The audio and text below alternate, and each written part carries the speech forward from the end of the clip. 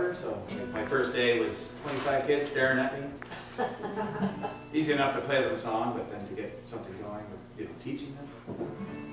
Anyway, I decided to uh, be uh, recorded, I think, uh, yeah, 10 songs. So kindergarten to grade six had their songs going. Little hip hop, country. They, they selected what they wanted to do. And anyway, it was kind of funny. Uh, last night reminded me of that. And, uh, those little kids are so honest that when I was like, any questions out there? You know, I kind of described what I did and a little bit about my travels and that. And then uh, one hand, I'm like, my first music question. Mr. LeBlanc, the kids. What's on the side of your head?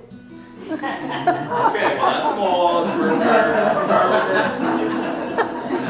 that's Second question I think was, Mr. LeBlanc. All right, finally, you know, how long you been playing, or how was it traveling to Germany, or something like that. And he's like, Mr. Beer.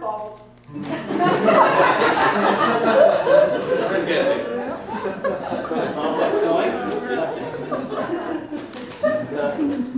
of course, to get them going, I don't sing, that's why I play all this instrumental music.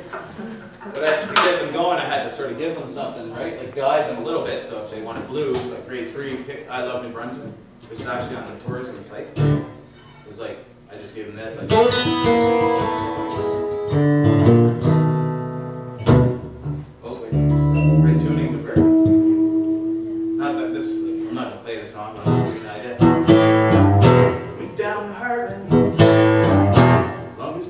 Bridge. Then we drove down to Sussex. Ice cream cone in the fridge.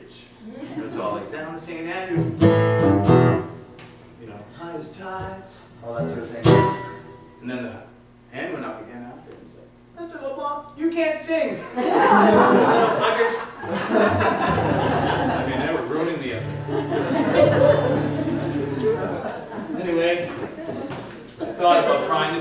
after that, the grade three tells me I can't sing. I think I pretty much can't sing. so we'll try one here called uh, Peace of Mind. That's good, you know, after doing dishes or folding the laundry. It's kind of one of those things. They don't? Oh wait, you don't do dishes or laundry. Your CD would be.